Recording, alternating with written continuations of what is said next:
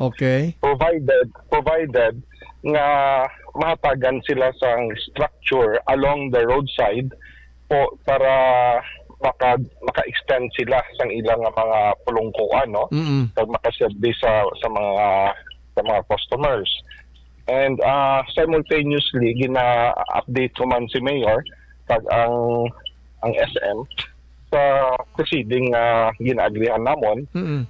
So, by principle, uh, si Mayor nag-agree man. So, siling ni Mayor, so ibutang lang sa kasulatan. So, yesterday, wala lang natapos nila. Ang pagbutang na ngayon lang sila until noon time today para ihatag nila, kag pirmahan nila tanan nga ga-agree na sila. Mm-mm. Na, and the two weeks, uh, they have to apply for sa ilang uh, basiwa kag ang ilang uh, Seneco directly to their name Okay. para makatransfer sila. Ah, very So, good. by principle daw, okay naman, Oo, no? oo.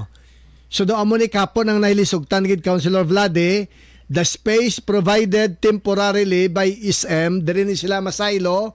So wala na tong likod sang government center kag ining vacant lot owned by the city government sa likod sang Isandar.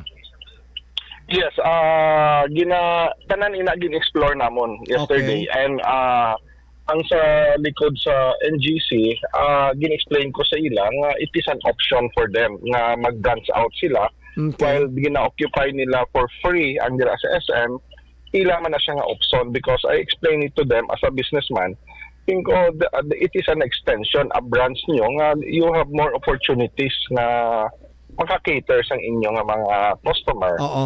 So, ang iban ah, nakita ko man nga kagimpensindi ko sila nga hindi na siya libre because ah, this will be put in a private property. Mm. So, Mm. So, naintindihan nila. And I Oo. think ang iban niya nga are, are interesado man sila Oo. maka-branch out dito. So, in other words, Councilor Vlade, may property, may private property owner sa likod sang government center nga nagatanyag sang ilang property nga they can make use of it as uh, a manukan uh, as a branch sang ila sini nga manukan country but they have to pay rent. Of course, yes. Kay, Okay. ah, it will be a future development, di ba? Oo. Nga kara wala na sa mga government vendors dira Mm. nga mausar sa dalan. So ah, ah, all year round ang hindi na nada pwede ang dira ah, surrounding the government center nga mga vendors nga makabaligya. Mm. So ho- hopefully uh, we will be able to accommodate them dira sa sa likod. But this is on a private capacity. Okay. Oo. Ang inang sa is and R naman dapit nga properties ang syudad. I think ah, daw daw amo nang imo gin siling anay konsyal nga patindugan naton sang high rise nga kwan nga relocation o kun nang mapatindog kita dra mga government buildings.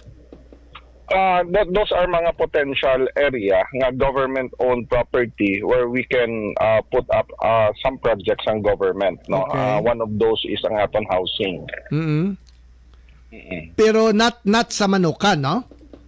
Uh, uh, hindi na because uh, although we took it up yesterday nga the possibility, but uh, we ka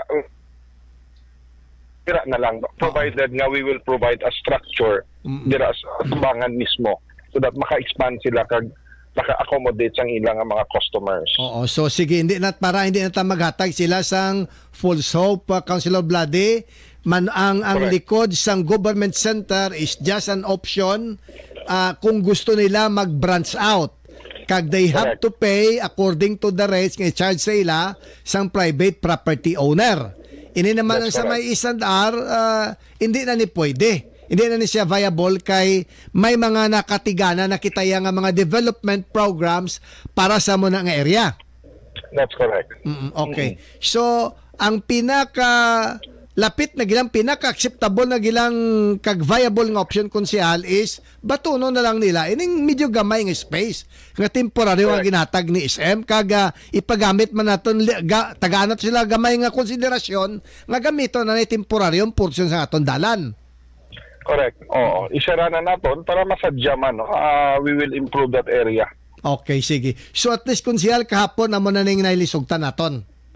Yes, so that will be formalized. Hopefully, uh, nagsiling sila nga isubmit nila ang signed, pirmahan nila tanan nga before noon time today. Oo. So definitely uh, today wala sa may matabo nga closure sa Manukan uh, Councilor Vlade? Yes, ah kay ging ayo ko to si Attorney Tengman kagapon nga i-hold niya lang in abeyance ang, ang ina nga nga pag, pagsara. Very so, good, sige. uh, two weeks. So they will make use of the two weeks nga maka-apply sila sang ilang nga kaugalingon nga metro sa Basiwa kag sa Seneco. Oo. Ining ining uh, two weeks councilor uh, first extension ini o after the May ni kung may masunod pa o kung this is this will be the the first and the last nga extension. That would be the last uh, ano ah, kay kagapon ah, amo to nga ah, it was a last minute effort naton nga istoryahon naton sila. Okay. And ah, I'm happy nga we have come into an agreement. Councilor, isa sa mga concern nila dira sa SM, ah, CR ah, wala pig pig uh, pig May. May ara, may, may ara na da. Ah, may ara- may Ah, ara ang na. SM, ah, may mga- may may CR na da nga Okay, good. nila. Okay, isa mga concern nila nga ti kon sa may, may extend ko na sila sa may ah, dalan ti subong rainy season do ka budlay gid sa ila councilor. Duga baha ko na. Ah, Nagabaha? Yes, amo man ang ginahambal na sa akin but I said nga we, we- we may not be able to completely address ang tanan nga concern but Hmm. hindi man tanan nga oras gabaha. So Oo. ma-adjust lang kita. Mm, yes, Okay, okay. So, ho, Oo. pero subong daw ano ka ready nagidra ang uh, salaliyuhan nila nga daw 12 by 12 uh, meters sa uh, councilor. Handang-handa na na Kagap- subong ya. Ah, well, ah, kagapon ah, ako mismo ah, nag ocular inspection ako. That, Oo. ah, I think it's 90% ah, finished naman. Ah, I think almost done. Almost done. Mm. Okay. Kuryente kag tubig na ginangang kulang konsyal. Yes, kay kay kinahanglan ang kuryente kag tubig under sa ilang ngalan. Mm. Oo. Kaging kaso magulan, siguro pangita sila palita nga plastic bala konsyal nga ihapin sa kalsada para nga magtaas-taas lang, hindi lang mag masulob sa tubig. Well, uh, that's another uh, thing. Uh, whether we like it or not, kung ara sila da, amo man nagyapon nga dalan ang ginausar naton, nga amo nang sitwasyon. But Mm. anyway, these are all in temporary in nature. Uh, hopefully nga matigayon na tanan nga matawhay na. Sige. Councilor Vlade, salamat nga madamo sa mga time mayong aga konsyal. Salamat councilor. Mayong, mayong aga, mayong aga. Mm. So at least to sa 90%